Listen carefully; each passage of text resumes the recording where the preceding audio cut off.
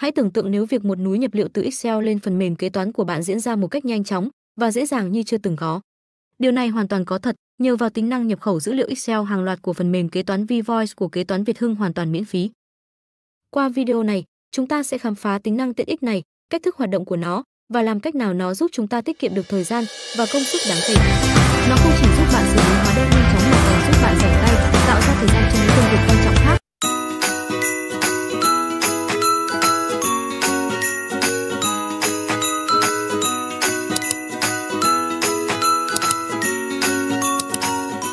Đây mình lưu nó vào ở trong download thì à, bây giờ mình vào download. Đây copy mẫu danh mục vật tư hàng hóa đây đúng không sau rồi mình mở nó ra nhấn tiếp theo. Cứ này nhấn tiếp theo thôi nó tự nhập khẩu lên. Ờ đấy sau đó mình nhấn thực hiện này. Đấy thế thôi. Xong rồi à, tại đây nhấn nạp thì thấy nó lên đúng không? Sau này ấy nếu mà nó có bị trùng ấy thì mình sẽ làm thế này mình sẽ lọc cái này vào à, conditional này highlight W kết này, nhấn ok này. Đây, nó có mấy cái mã giống, những cái mã giống nhau ấy, là nó đang bôi đỏ, đúng không? Nếu mà nó giống nhau như thế này thì mình sang đây. Ctrl C này này. À chưa chưa chưa. Cái này phải làm mấy đã, xong rồi mới xử lý sau. Đây, tức là mình sang bên này này. Ctrl C sang bên này ấy, mình tìm kiếm này. Thấy không? Thấy hai cái mã này giống nhau thì mình bôi đen nó lại, xong rồi mình nhấn gộp mã mình chọn nó về một cái mã nào đấy trong một trong hai cái mã bôi này đen, là được. bôi đen. Ừ. chỗ đấy bạn hướng dẫn lại cho mình nhanh đây này mình uh, nhấn vào cái gì nhỉ? Nhấn vào cái uh, vật tư hàng hóa mình này. uh, mình Vật vào tư danh mục này vật tư hàng hóa này vật tư hàng hóa ở đây đúng không? Rồi. Xong mình copy cái tên mà nó đang bị bôi đỏ ở bên này này. Đấy sang đây. Để tìm kiếm thì nó ra hai cái này đúng không? Thì mình giữ phím Ctrl này này mình để mình bôi đen đấy. Thì nó sẽ bôi vàng như thế này xong rồi mình nhấn chuột phải nhấn gộp để nó gộp nhanh ạ là nó gộp ngay. Nhưng mà cái này ấy, thì mình sẽ làm vào cuối năm. Tức là sau khi mà mình hoàn thiện nhập hết tất cả mua vào bán ra rồi ấy thì mình mới làm thế này thấy chưa? Thế mà mình muốn theo dõi hàng tháng thì mình đối chiếu thì mình làm nào? À, nếu mà muốn theo dõi à, hàng tháng à? Hàng tháng thì cũng làm như thế cũng được nhưng mà về sau những cái sau thì mình lại phải đi tìm mã. Ờ thì nó mất thời gian đúng không ờ, à không không cũng được không sao. Hàng tháng nếu mà ấy thì bạn cần làm thế này cũng được xong mình gộp xong rồi những tháng sau thì mình cũng lại làm kiểu này thôi. Mình cũng kéo các cái hàng hóa lên xong tí nó cuối tháng sau đấy nó lại giống nhau thì mình lại gộp. Ừ, ừ. thì mình cứ gộp chứ nào. mình ngồi mình chứ mình ngồi bây giờ mình ngồi mình cóp cái này sang. Ví dụ mình cóp cái mã mình thấy cái hàng hóa 01 này mình nó có tên như thế này đúng không? Mình cóp sang cái file ờ, bảng kê của mình xong rồi mình tìm ở đây xong rồi tí mình lại ngồi ở đây mình lại điền lại cái mã hàng hóa 01 vào chỗ này chẳng hạn ví dụ thế. Ừ. thì nó lâu lắm nên là Ừ, không đúng làm thế. là gộp thế kia nó nhanh mà nó cái xác suất của nó chính xác hơn chứ đúng Ừ, không? đấy là đối với lại mình nhập khẩu mã hàng. Thế tiếp theo là đến nhập khẩu cái gì? Nhập khẩu cái thằng à, khách hàng đúng không? Ờ, khách hàng thì mình sẽ vào đây. Khách hàng bên ngoài. Đây đây. Rồi. Mình sẽ vào danh mục này. Đối tượng nhà cung cấp đây là mua vào mà ừ, đúng rồi. Cái này thì mình nhấn thêm một cái này. Đấy cứ thêm một cái nào đấy thôi kiểu để, để cho nó lên cái chỗ mà chọn đây này chọn nhập khẩu đấy này. Đấy thì mình mới nhấn lúc này mình mới nhấn vào nhập khẩu nhá. Và tải tệp dữ liệu mẫu xuống. Ở đây thì mình chỉ cần khai báo mã tên và địa chỉ mã số thuế của nhà cung cấp thôi. Đây là đơn vị mua hàng là đơn vị nào công ty mình Nộp à? tín nó không phải đây là công ty mình. Mình phải ra đầu đây là đơn vị mua hàng. Đây mã lại số thuế. mình sẽ lấy mã số thuế người bán để làm mã của nhà cung cấp luôn. Hiểu không? À, để sau này ấy đến những cái tháng sau ấy nó mình cũng cóp cái này. Ctrl C này. Để sang những cái tháng sau mình cũng cóp như thế này mình khai nó vào cái chỗ này này. Mã nhà thì nếu mà tí mình nhập khẩu lên trùng là nó tự loại luôn mình khỏi phải À, xóa nữa nó không phải như cái hàng như cái Ờ hàng đúng rồi, đúng rồi. Cái này thì nó lại tiện hơn. Thì mình cứ lấy luôn mã nhà cung cấp là mã số thuế luôn nhá. ừ, là mã số đấy luôn Đúng rồi.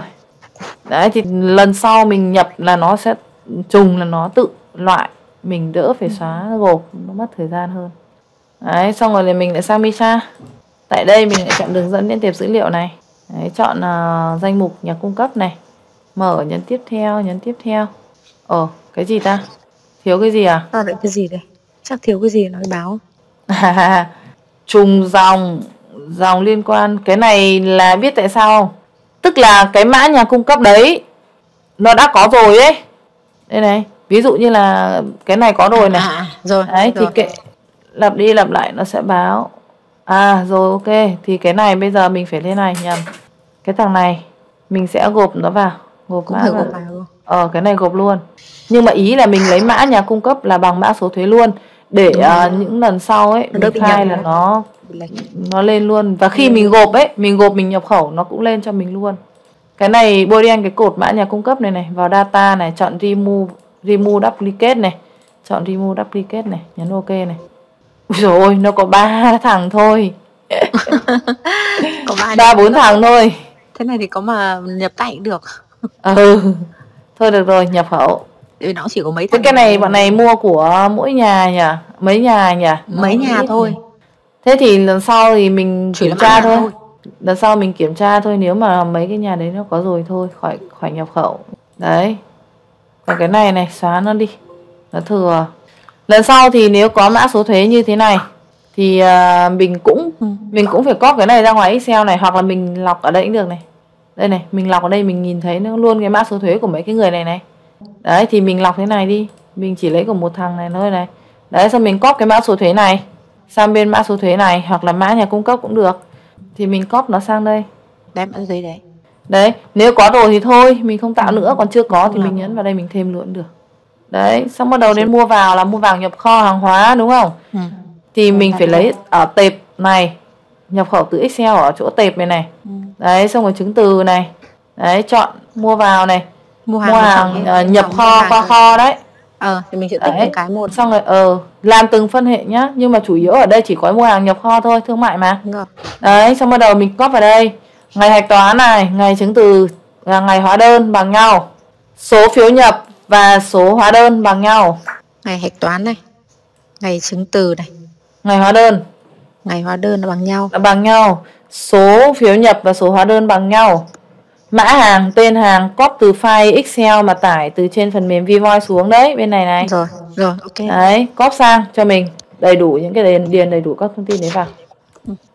Nhưng mà vấn đề bây giờ cái mình đang đang đang đang ờ, đấy có các cái thông tin này này sang ờ, cái file mẫu kia kìa. Này ngày này thì bằng với ngày hóa đơn này. Bằng với lại ngày ờ, đây là cái mua vào đúng không? Mình mới đang khai báo được ờ, mã vật tư với mã nhà cung cấp ấy chứ. Mình đã khai báo cái uh, Mình lại cứ ngồi nghiệp chờ. vụ hạch toán đâu. Ờ ờ ơ vừa bảo là cóp vào mà. Không để ý. Đang số phiếu nhập với lại số hóa đơn này bằng nhau này. Mã nhà cung cấp tên nhà cung cấp này. Mã người bán tên người bán này. Đây đây. Ờ, diễn giải này thì mình cứ ghi là mua hàng nhập kho là được nhá bởi vì tí nữa cái mã hàng kia nó có thể hiện ở bên dưới rồi, cái này nó chính là cái chỗ mà diễn giải khi mình, ấy thôi, cái con đông mã hàng này. Đây, mã hàng, tên hàng này. Kho này, kho là mình để hết là 156 đúng không?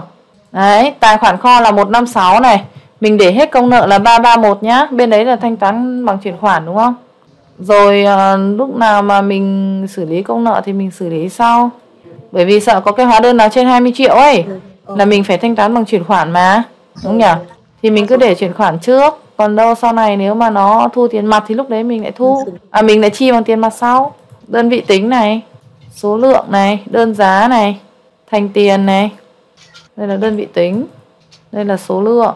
Cái đơn giá nhá đơn giá ở đây cái định dạng excel của mình nó đang là dấu chấm với nhau so với nhau đấy thì mình cộng ở ngay đây là nó không đúng đâu, bởi vì nó đang đang bị ngăn cách nhau bằng dấu phẩy, hiểu chưa? Thì đơn giá thành tiền ở đây mình có xong rồi, thì bây giờ mình nhấn Ctrl F để mình thay thế dấu phẩy. Và để trống replace, thì để đừng đừng có thay dấu phẩy bằng dấu chấm nhá. Cứ thay dấu phẩy bằng cái trống thôi. Thì nó giữ nguyên cái số liệu này cho mình này, không là thay bằng cái dấu chấm là tí nó lại nhảy sai cái định dạng ấy. Chiết khấu thì bỏ qua. Phần trăm thuế ở đây là nó chịu 10% tất cả 10 hết thì ở đây nhìn này, nó ghi nhập 10 là tương ứng với 10% thì mình chỉ nhập 10 thôi chứ không phải ghi 10% vào đấy đâu. Đấy, xong rồi copy xuống dưới. Ctrl V này, tiền thuế này thì mình lại lấy ở cái cột tiền thuế này. Đúng nhỉ? paste nó sang cột tiền thuế này. Lại nhấn Ctrl F để mình thay thế. Dấu phẩy bằng trống, replace all này. Ok, và đóng lại. Tài khoản đối ứng, tài khoản thuế này.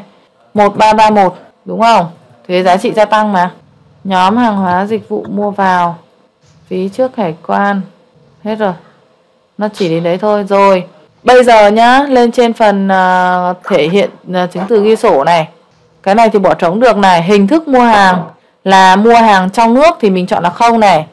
Phương thức thanh toán là chưa thanh toán chọn là không này. Nhận kèm hóa đơn. Nhận hàng không kèm hóa đơn.